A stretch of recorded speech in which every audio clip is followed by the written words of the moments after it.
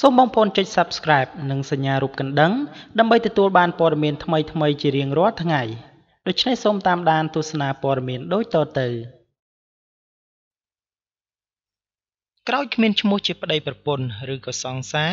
អ្នកសិល្បៈទាំង5គូនេះបានផ្ដាច់មនោសញ្ចេតនាទាំងស្រុងនៅមុនពេលបែកបាក់គ្នាជីវិតប្តីប្រពន្ធឬក៏ជាសង្សារអ្នកសិល្បៈចំនួន5គូនេះ ស្រឡាញ់គ្នាខ្លាំងណាស់ក៏ប៉ុន្តែរឿងមួយដែលគួរឲ្យសោកស្ដាយខ្លាំងបំផុតនោះក្រោយពេលដែលចែកផ្លូវគ្នាដើររៀងរៀងខ្លួនពួកគេបែរជាផ្ដាច់ទំនាក់ទំនងជាមួយនឹងគ្នាទាំងស្រុងសូម្បីតែមុខក៏មិនមើលដែរទី1បើនិយាយពីតារាចម្រៀងសគុណនីសានិងកវីនិពន្ធលោកសុកជំនោវិញ លែងមានឈ្មោះជាគូស្នេហ៍នឹងគ្នាតទៅទៀតក្រោយពេលដែលអ្នកទាំងពីរសម្រាប់ចែកផ្លូវគ្នាដើររៀងរៀងខ្លួននៅកំឡុងឆ្នាំ2012បើគិតរហូតមកទល់នឹងពេលនេះ ឆ្នាំ2018មានរយៈពេល6ឆ្នាំហើយដែលអ្នកទាំងពីរមិនស្ដីរកគ្នាសូម្បីតែ ពួកគេរៀបការក៏មិនបានអញ្ជើញគ្នាឲ្យចូលរួមទៅវិញទៅមកផងដែរ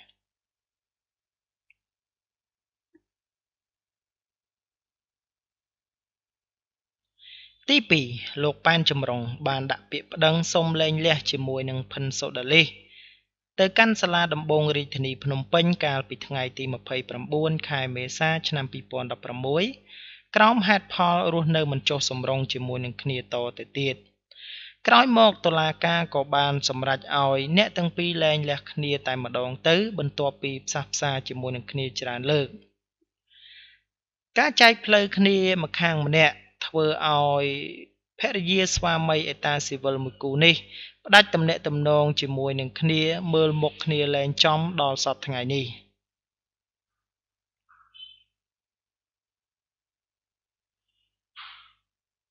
ទី3ចំណែកឯយ៉ាន់លីនដានិងលោកយ៉ែមសំអូន បានសម្រេចចាត់ចែកផ្លូវគ្នាដើររៀងរៀងខ្លួនកាលពីថ្ងៃទី3ខែឧសភាឆ្នាំ2015 ដើមហេតុនៃការបែកបាក់គ្នានេះគឺដោយសារតែនាង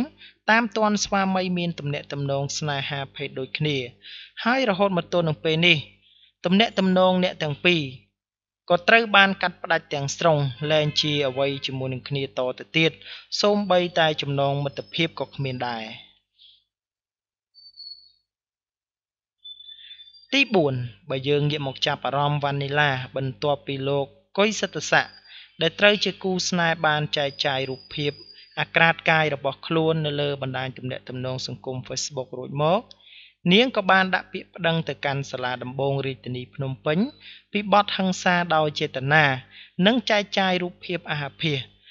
ក្រោយមកតុលាការក៏បានសម្រេចគ្រឿងក្តីនីឡានិងអតីតគូស្នេហ៍ជាស្ថាពរកាលពីថ្ងៃទី15ខែសីហាឆ្នាំ2017ដោយ ផ្ដន់ទាទោសឲ្យជនជាប់ចោតជាប់ពន្ធនាគាររយៈពេល1ឆ្នាំ ចាប់ពីពេលនេះ រហូតមកនាងនិងគូស្នេហ៍បានកាត់ផ្ដាច់ទំនាក់ទំនងជាមួយនឹងគ្នាទាំងស្រុងតែម្ដង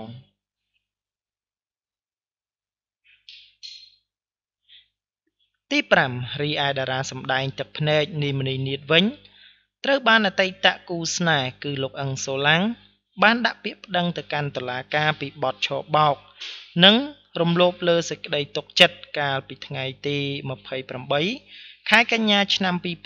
2017នៅក្នុងបណ្ដឹងនោះក៏បានទាមទារឲ្យនាងសងប្រាក់ចំនួន70000ដុល្លារសហរដ្ឋអាមេរិកព្រមទាំងសងជំងឺចិត្ត50000ដុល្លារសហរដ្ឋអាមេរិកបន្ថែមទៀតមកឲ្យរូបលោក ក្រោយពីមានរឿងរ៉ាវប្តឹងផ្ដល់រួចមកភាគីទាំងសងខាង លែងមានទំនាក់ទំនងល្អដូចលែងមានទំនាក់ទំនងល្អដូចពីមុន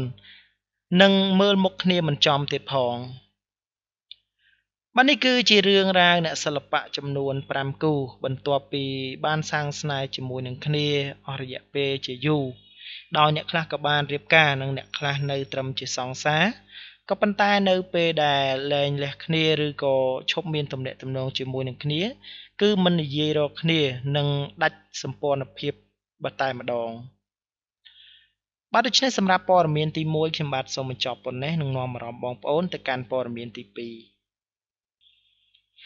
ហង្មារនីបង្ហាញមុខសង្សារ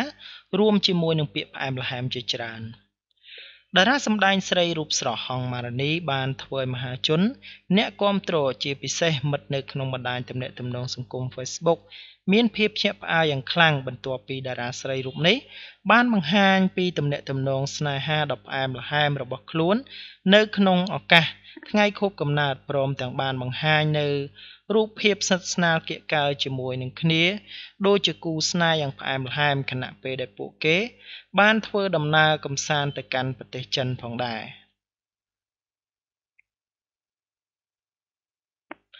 យោងទៅតាមគណនី Facebook ផ្ទាល់ខ្លួនរបស់ហងម៉ារនីបាន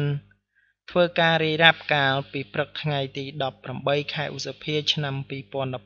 2018ដោយបញ្ចេញសារផ្អែមល្ហែមមួយរៀបរាប់ពីចំណងស្នេហ៍របស់ខ្លួនជាមួយនឹងបរិះកម្ពុជាស្នេហ៍គឺលោកផូកៅសម្បត្តិថា នៅថ្ងៃទី4ខែ5ឆ្នាំ2018 Happy birthday to me ថ្ងៃទី16ខែ5ឆ្នាំ2018 Happy anniversary our love baby អរគុណគ្រប់យ៉ាងអរគុណដែលបងតែងតែនៅក្បែរអូនការពារអូន តែងតែផ្ដល់ភាពកក់ក្ដៅក្តីសង្ឃឹមកម្លាំងចិត្តនិងសុភមង្គលជូនអូនគ្រប់ពេល គ្រប់នីតិគ្រប់ម៉ោង គ្រប់ថ្ងៃ គ្រប់ខែគ្រប់ឆ្នាំ បង មិនដែលធ្វើឲ្យអូនពិបាកចិត្តឬក៏ទឹកភ្នែកម្ដងណាឡើយចាប់តាំងតែពីបងស្រឡាញ់អូនដំបងរហូតមកទល់នឹងពេលនេះគឺបងតែងតែផ្ដល់នូវស្នាមញញឹមនិងភាពសប្បាយរីករាយជូនអូនជានិច្ចជាពិសេសកន្លងមកកន្លែងដែលអូនប្រាថ្នាគឺបងតែងតែនាំអូនទៅជានិច្ចដឹងថាបងហត់នឿយខ្លាំងដើម្បីគ្រួសារមួយនេះក៏ប៉ុន្តែបងមិនដែលរអ៊ូថាហត់សូម្បីតែមួយម៉ាត់ មិនដែលត្អូញត្អែបើទោះបីជាបងឈឺក៏បងមិនហ៊ានប្រាប់អូន ថាបងឈឺដែរទាល់តែស្ទាបក្បាលទៅក្តៅខ្លួន ស្ទាបក្បាលទៅគឺក្តៅ